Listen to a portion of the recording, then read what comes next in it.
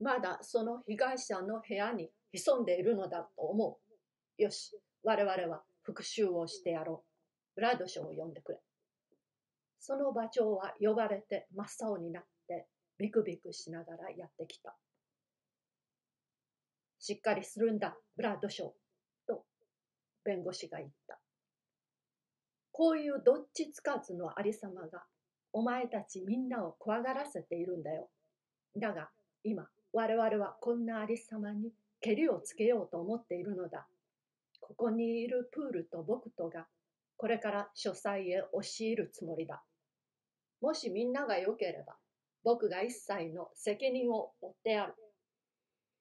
その間、何かヘマをしたり、犯人が裏口から逃げ出したりするといけないから、お前とあのナイフ研ぎのボーイとは、丈夫な棒を一本ずつ持って、角を回って実験室の戸口のところで張り番をしていなければならない。お前たちがその部署に着くまで、我々は10分間待つとしよう。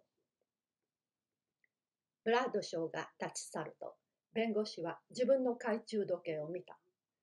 さあ、プール、我々も部署に着こう。と彼は言って、ヒカキを小脇に抱えて、先に立って裏庭へ出た。風に吹かれて飛ぶ雲がちょうど月を覆っていて、その時は真っ暗であった。建物に囲まれて深い井戸のようになっている裏庭には、時々隙間風が吹き込んできて、ろうそくの光を二人の足元へあちこちと揺り動かした。やがて彼らは風の当たらない階段行動へ入ると、黙ったまま腰を下ろして待った。ロンドンのどよめきは重々しく四方から聞こえていた。しかし辺りは静かで、ただ書斎の床をあちこちと歩き回っている足音だけが聞こえていた。ああして一日中歩いているのですよ、とプールがささやいた。いえ、昼間ばかりか夜も、大抵はあなのでございます。ただ、薬屋から新しい見本が参りました時だけ、ちょっとやむのです。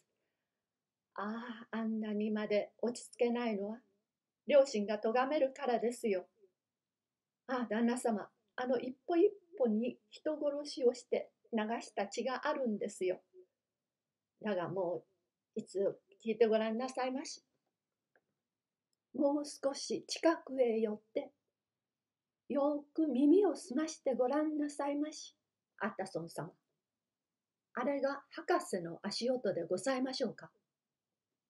その足音は非常にゆっくり歩いていたにもかかわらず、一斉の良い調子の軽やかな奇妙なものであった。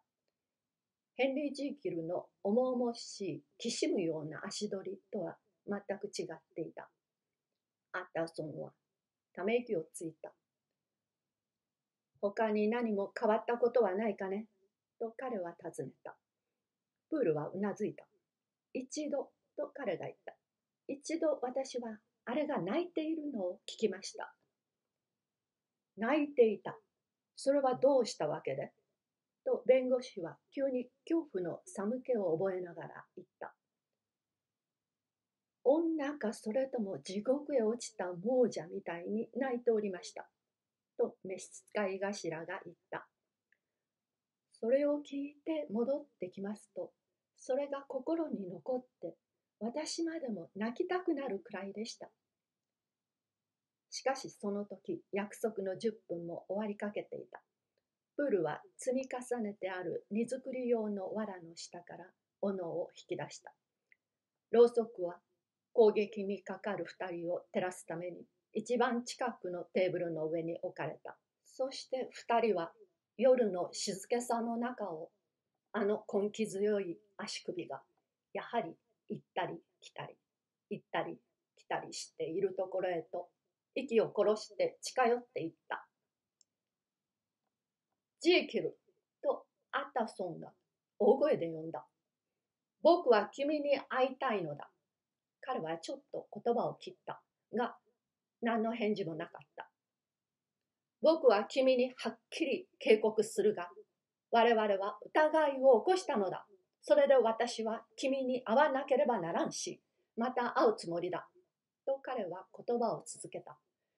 もし正当な手段で会えなければ、非常手段ででも、もし君の同意がなければ、暴力を用いてでもだ。アタソン、とさっきの声が言った。ご承だから許してくれ。ああ、あれはジーキルの声じゃない。